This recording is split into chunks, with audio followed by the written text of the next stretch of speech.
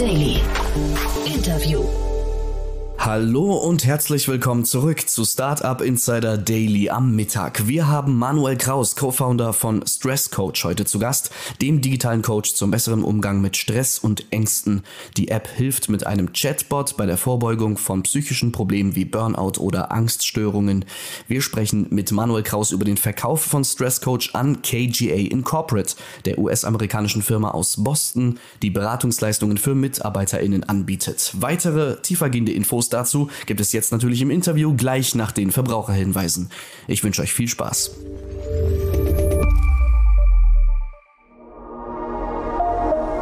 Werbung. Langfristige Kundenbeziehungen und bessere Umsätze? Dabei unterstützt dich Sandin Blue als Multichannel-Marketing-Plattform. Denn hier verwaltest du deine gesamte digitale Kommunikation an einem Ort. Von E-Mail und SMS-Marketing über Chat, Automation und CRM. Du erreichst deine Zielgruppe immer genau dort, wo sie sich gerade aufhält. Als europäischer Marktführer mit deutschem Serverstandort setzt Sandin Blue außerdem auf allerhöchste Datenschutzstandards und ist absolut DSGVO-konform. Mit dem Gutscheincode Startup Insider 22 kannst du einen Monat lang das Premium-Paket kostenlos nutzen.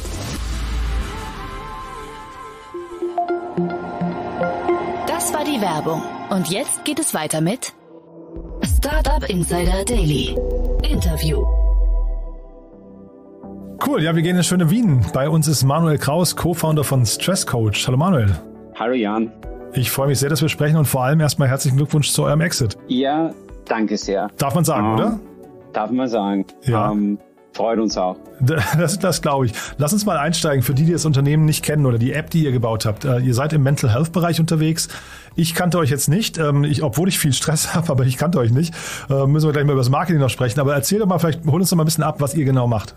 Oder gemacht Ja. habt, muss man ja fast sagen, ne? Also wir machen es de facto immer noch, weil es wird die App weiterhin geben. Ähm, also kann man ruhig in, in, in der Gegenwart bleiben. Also was Aha. wir gemacht, was wir machen, ja, ähm, was Stress Coach als App macht, ist, es nimmt Leute an der Hand und hilft ihnen dabei, das zu lernen, wie sie besser mit ihrem Stress umgehen. Ja. Ähm, unser Ansatz war immer so niedrigschwellig wie möglich und also so früh wie möglich Menschen zu helfen, so kostengünstig wie möglich. Und was die App am Ende des Tages ist, ist ein Chatbot.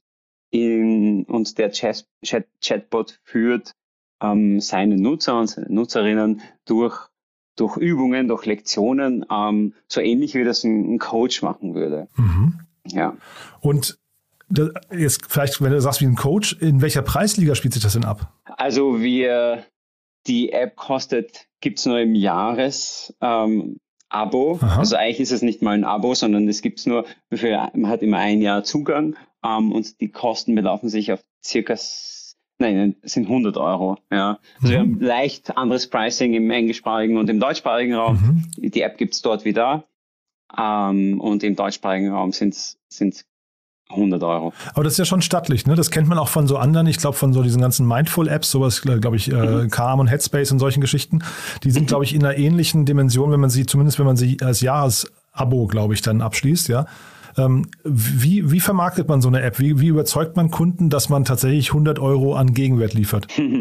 Ja, ich meine, das ist, das ist die Krux an der ganzen Sache. Ne? Also am Ende des Tages für uns war es so, dass wir mit, mit, ähm, mit Paid Ads eigentlich noch am besten gefahren sind und dann aber zum, zum Ende, jetzt in den letzten Jahr uns verstärkt noch auf Kooperationen ähm, fokussiert haben. Also wir sind, wir haben den, dann einen Stressbewältigungskurs äh, gelauncht, der auch zertifiziert ist, so dass die Deutschen, die gesetzlichen Krankenkassen in Deutschland und äh, also die App, die Kosten für die App zum Großteil oder vollständig rückerstatten. Ah ja. Ähm, Das ist diese DIGA-Initiative, ne? Oder? ja, also nee, es Nee? gibt da zwei äh, Dinge in dem Bereich. Das eine ist DIGA und unter DIGA fallen, fallen alle Dinge, die klinisch sind. Also eine App, Ah. die, die irgendeine Krankheit ähm, äh, betrifft, auf die eine oder andere Art und Weise. Während wir ähm, fokussiert haben auf den präventiven Aspekt. Und da gibt's auch schon ein bisschen länger sogar als DIGA ähm, die Möglichkeit, äh, Inhalte, also Kurse zu zertifizieren. Und seit einem knappen Jahr oder seit einem guten Jahr eigentlich gibt es da auch die Möglichkeit, vollständige Apps zu zertifizieren. Ah, ja. So analog zum Tiger-Bereich, aber im Präventionsbereich. Mhm, verstehe. Und jetzt seid ihr übernommen worden. Und jetzt, ich meine, das ist ja das, wovon jeder Gründer, jede Gründerin träumt oder vermutlich zumindest mal, wenn es zumindest ein selbstgewählter äh, Exit ist. Äh, vielleicht man, kannst du es mal in die Hand nehmen. Wie ist denn das zustande gekommen? Ähm, ja, das, das war eigentlich ein relativ langer Prozess. Der hat im letzten Herbst begonnen, wo wir uns, um, wie wir das eben regelmäßig machen, mit unseren Investoren zusammengesetzt haben und, und Strategie besprochen haben, okay, was, was sind so die nächsten Schritte? Ähm, und wir wollten eigentlich, weil du vorher das Marketing angesprochen hast, ja, wir wollten eigentlich ähm, vor allem in Amerika auch ähm, groß Direct-to-Consumer skalieren und es hat nicht so funktioniert, wie wir uns das vorgestellt haben. Das muss man auch, und sage ich auch sehr gern ehrlich so, ja ähm, und haben uns dann entschieden zu sagen, naja, wir, wir haben da was geschaffen, wir kommen aber nicht genau dorthin, wo wir, wo wir äh, hinwollen. Schauen wir uns zumindest auch mal die Optionen an, die wir haben äh, in Richtung Verkauf. Ah, ja. und, und wir haben dann in Amerika und in Österreich, also ja, in, im deutschsprachigen Raum, wir sind jetzt sitzen hier in Österreich, mit äh, Brokern, also mit M&A-Brokern zusammengearbeitet, die diesen Prozess im Prinzip in die Hand nehmen.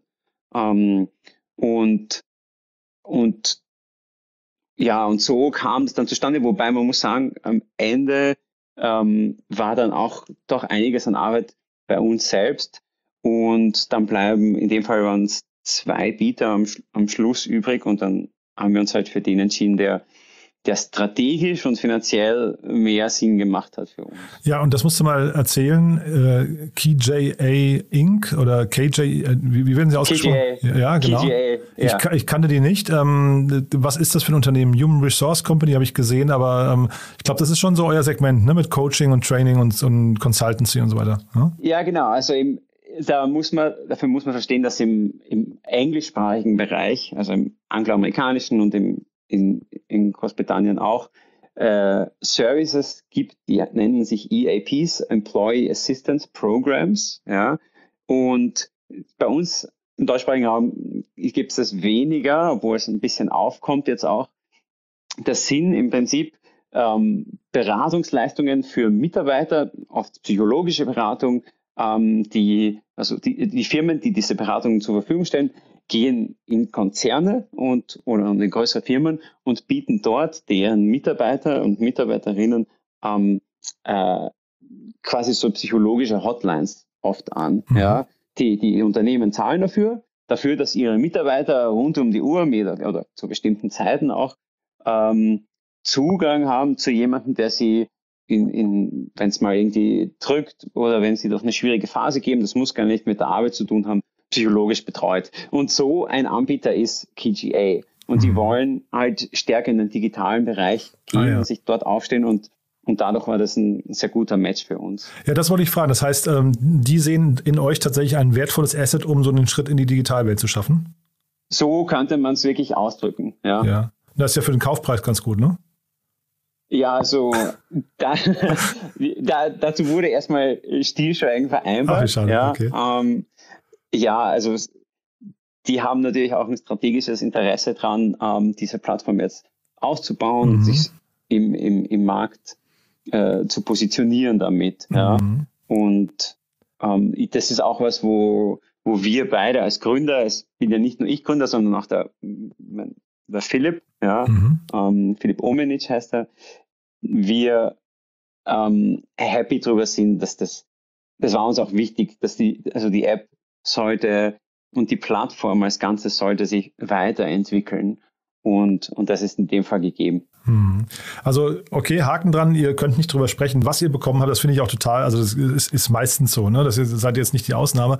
Aber vielleicht kannst du noch mal beschreiben, du sagtest ja, es war ein Bieter-Wettkampf letztendlich mit zwei, das ist ja auch sehr clever erstmal. Das macht man, glaube ich, auch so im MA-Bereich, dass man versucht, mindestens zwei Angebote auf dem Tisch zu haben sich dann für eins entscheidet, äh, wie, wie findet man da den Preis? Also jetzt nicht, du musst jetzt nicht auf die Zahlen eingehen, aber wie, wie hat man sich den, den Prozess sich vorzustellen? Ja, ich meine, da gibt es natürlich verschiedene Möglichkeiten ähm, und, und je nachdem, auf welcher Seite man da sitzt vom Verhandlungstisch, ähm, hat man halt Interesse, äh, ob man jetzt einen Umsatzmultiple nimmt oder ob man ähm, eher auf, auf, auf Kostenbasis reingeht oder auf, also es gibt verschiedene Möglichkeiten und ähm, im Prinzip ist es eine Verhandlungssache, ja, also was die anderen bereit sind zu zahlen, ähm, das ist dann, das ist dann der Preis, ja. Die so so M&A-Berater, die, ich meine, die sind ja auch ausgefuchst. Mhm. Ähm, Sagt ihr das in Deutschland auch? Mir ja, ja, ja, klar, im, ja. Okay, mir passiert immer wieder, dass ich äh, so einen österreichischen Begriff einstreue irgendwo, der dann nicht verstanden wird. Deswegen frage ich auch gern nach.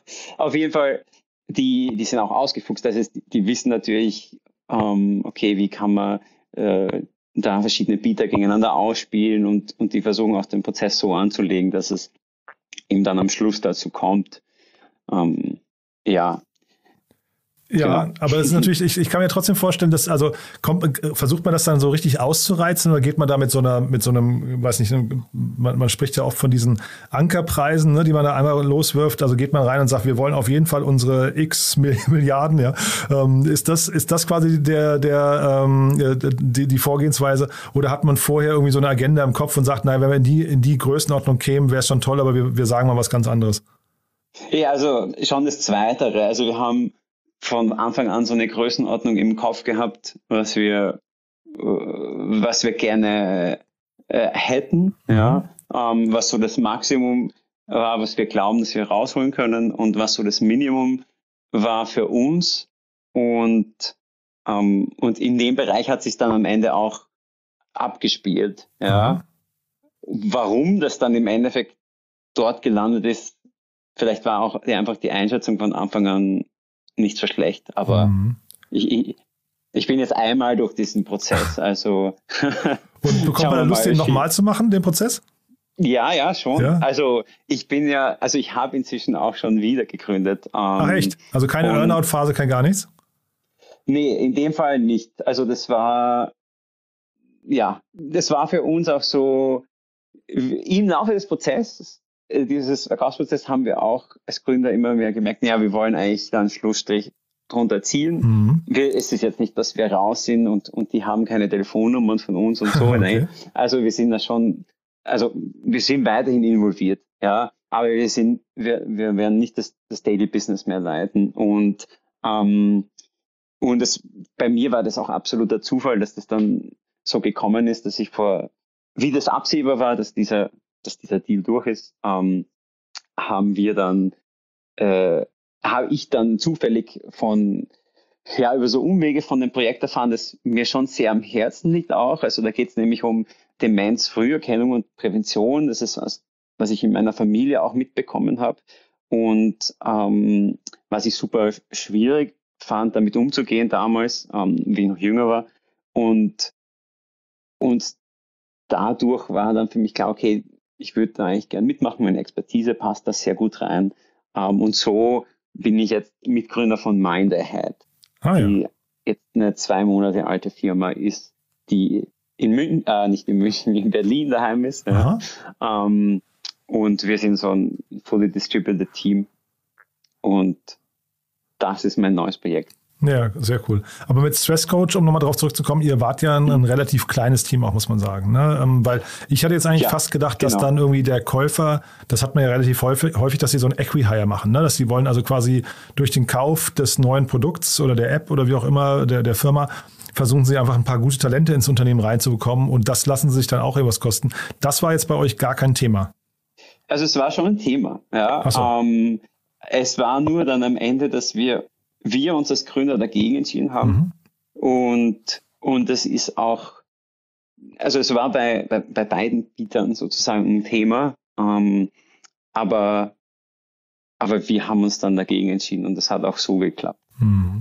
Und eure Investoren, da haben wir jetzt noch nicht drüber gesprochen, vielleicht kannst du uns durch den Prozess nochmal durchführen. Ihr hattet, also ich habe zumindest auf Crunchbase gesehen, SpinLab, das, die kennen wir hier auch gut, ne? Der, also der Accelerator von der, der HHL in, in Leipzig, ne? der Handelshochschule. Mhm. Dann AWS äh, habe ich gesehen, bei euch ist investiert. Äh, ich weiß aber gar nicht, ist das, ist das ähm, äh, Amazon oder ist das der, Franz der, der, der, der österreichische ähm, Das ist der österreichische Fonds. Ah, ja, okay, also, also der HTGF-Pendant von Österreich, ne?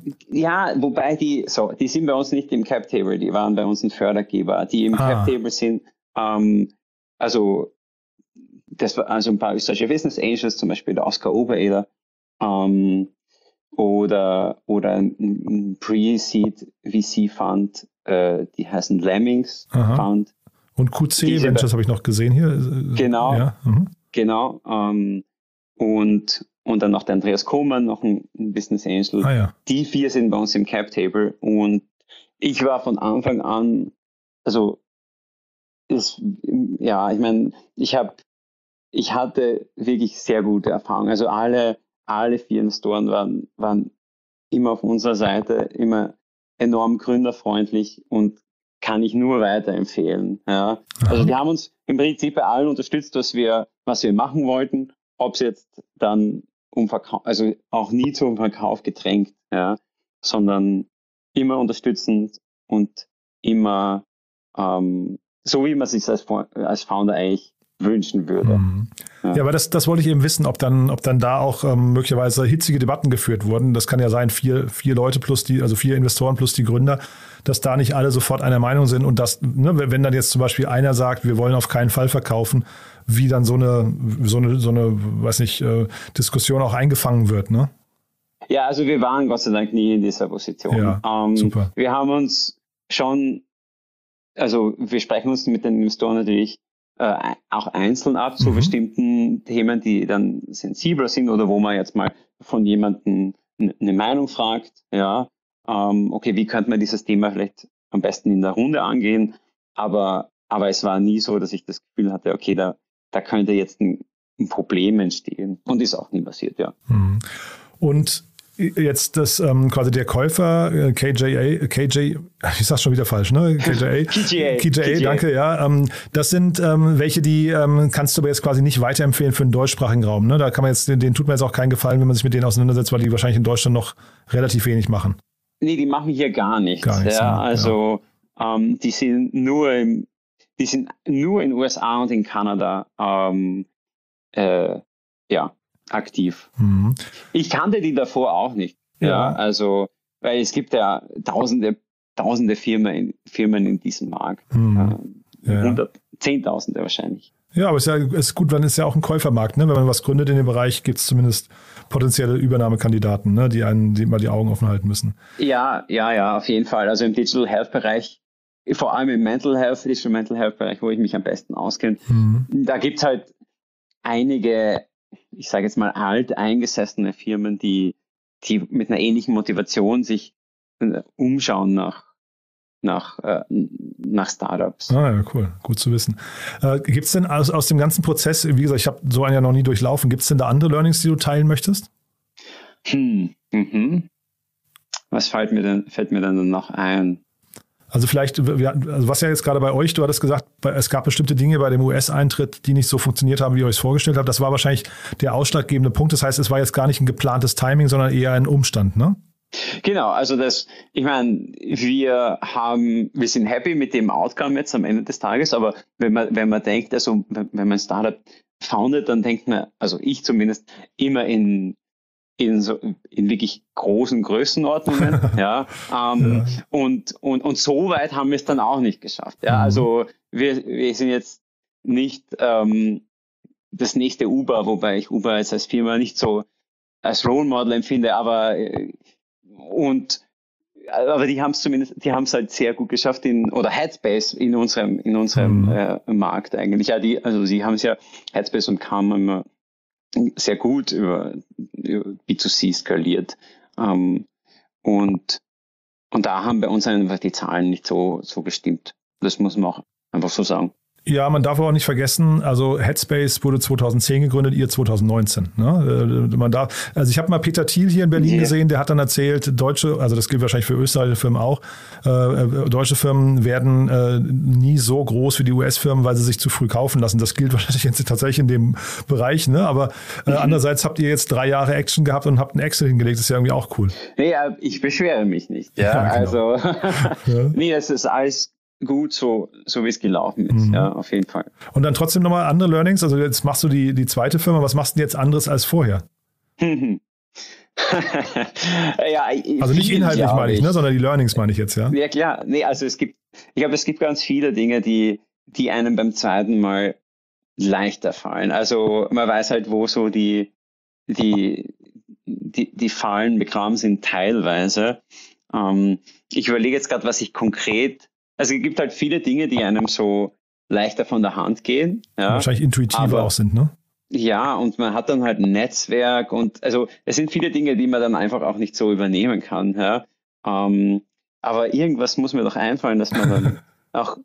Also ich würde mal Folgendes sagen. Also ich habe immer davon profitiert, ähm, mich mit Foundern zu connecten, die, die schon weiter sind als ich, ja, die sich in einem Bereich schon mehr auskennen oder es müssen auch gar nicht Founder sein, es können auch Mitarbeiter in Startups sein. Und und das kann jeder machen, weil die, die meisten Founder sind super ähm, approachable. Mhm. Also die kann man, die kann man leicht zugehen, auf mich auch. Und ähm, ich finde, das war eins meiner größten, also das war die, so, war die größte Quelle von, von Lernen außerhalb von dem, was man halt täglich macht und dadurch natürlich auch lernt. But there is one more thing. One More Thing wird präsentiert von OMR Reviews. Finde die richtige Software für dein Business. Manuel, also wirklich eine sehr, sehr spannende Reise. Danke, dass du die geteilt hast. Als letzte Frage ja nochmal bei uns. Wir haben ja eine Kooperation mit OMR Reviews und bitten deswegen jeden unserer Gäste nochmal ja, ein, ein Lieblingstool vorzustellen oder ein Tool, das sie gerne weiterempfehlen möchten. Und ich bin sehr gespannt, was du mitgebracht hast. Ähm, ja, ich, äh, ich finde es auch spannend, dass ich mich im Endeffekt für ein analoges Tool zumindest halb analoges Tool entschieden habe, und zwar mhm. Bambook, also oder Bambuk, äh, wie man es ausspricht, genau weiß ich nicht. Aha. Aber schreiben tut man es Bamboo, so wie das Bambus auf Englisch und Aha. dann ein K hinten dran. Aha. Und es ist so ein, ich bin jemand, der arbeitet viel mit Zetteln. Ich nehme dann so einen A4-Zettel und brainstorme irgendwas oder mache ein Mindmap oder, oder mache mir irgendwelche Notizen und dann fliegen die überall herum bei mir daheim und meine Freundin ist nicht besonders happy drüber.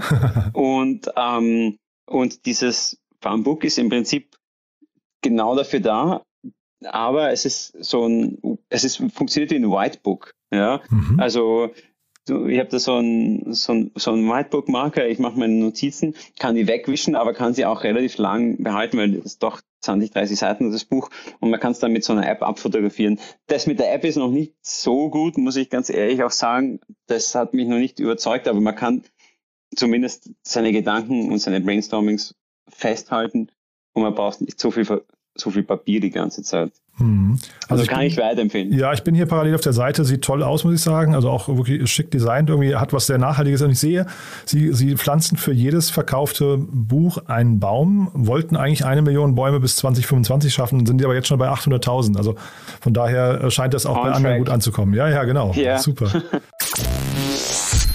More Thing wurde präsentiert von OMR Reviews. Bewerte auch du deine Lieblingssoftware und erhalte einen 15 Euro Amazon-Gutschein unter moin.omr.com/insider.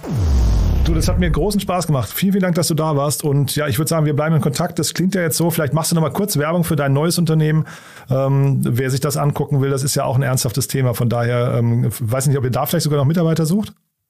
Ja, also wir, wir raisen gerade. Ähm, wir haben circa die Hälfte von dem, was wir wollen, geraced. Dann stellen wir Leute ein. Ähm, also jetzt im Moment suche ich vielleicht noch keine Mitarbeiter, aber, aber mit Investoren im Digital Health Bereich mich zu connecten, immer sehr gerne. Ja, also wir haben auch ein, ein richtig cooles Team. Ja, macht richtig Spaß, richtig viel Erfahrung. Super. Mind Ahead war das, ne? Mind Ahead, genau. Cool. Du, da hat mir das großen Spaß gemacht. Wir bleiben in Kontakt und ja, äh, erstmal äh, drücke ich die Daumen für deine nächste Mission. Hat mir auch Spaß gemacht, Jan. Ja, Bis danke dann. dir. Ciao. Ciao. Startup Insider Daily, der tägliche Nachrichtenpodcast der deutschen Startup-Szene. Vielen Dank an Jan Thomas und Manuel Kraus, Co-Founder von Stress Coach, für das Gespräch. Sie sprachen anlässlich des Verkaufs von Stress Coach an KGA Incorporate. Wir sind heute Nachmittag natürlich wieder für euch da mit unserer Rubrik Junge Startups. Heute stellen wir vor Holy Pit, vegane und umweltfreundliche Deosticks mit Nachfüllfunktion, Winlift, die App für individuelle Beratung für Finanzen und Altersvorsorge und PicTie, die Wissensplattform für Investitionen und individuelle Finanzplanung. Schaltet da gerne nochmal ein bei uns um 16 Uhr. Das war's mit Startup Insider Daily für heute Mittag. Ich wünsche euch gutes Gelingen und sage ciao.